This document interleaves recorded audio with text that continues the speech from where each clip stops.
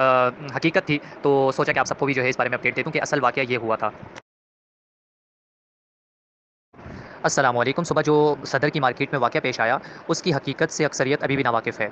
हुआ ये कि जिस तरह हमारे घरों के अंदर मोबाइल वाईफाई डिवाइस लगी हुई होती है मोबाइल इस्तेमाल करने के लिए, इसी तरह सदर की मोबाइल मार्केट के अंदर भी हर दुकान के अंदर अपनी अपनी वाईफाई डिवाइस हर किसी ने लगाई हुई थी। वहाँ पर एक सैमसंग की शॉप थी जहाँ पर उनका सैमसंग का कोई नया मोबाइल लॉन्च हो रहा था, उसकी कोई तकरीब हो रही थी।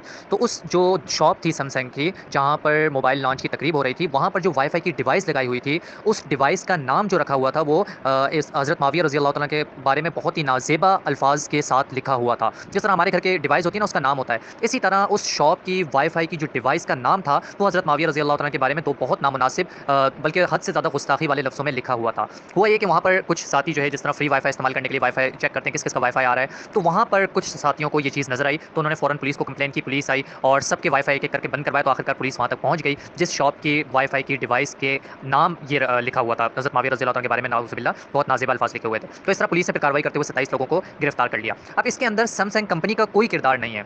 कुछ लोग जज्बाती होकर कह रहे हैं कि सैमसंग की डिवाइस थी सैमसंग की जो इसमें पासवर्ड था, पता नहीं अजीब अजीब बातें सुनने में आ रही हैं। जबकि हकीकत ये थी कि उस शॉप के अंदर जो वाईफाई डिवाइस लगी हुई थी, उस डिवाइस का जो नाम था, वो नाम, क्योंकि हर बंदा जिसके घर में डिवाइस हो शॉप में डिवाइस हो अपने पसंद का नाम भी चॉइस कर सकता है। तो इसी तरह शॉप के अंदर जो वाईफाई डिवाइस लगी हुई थी, वो यकीन एक मखसूस फिर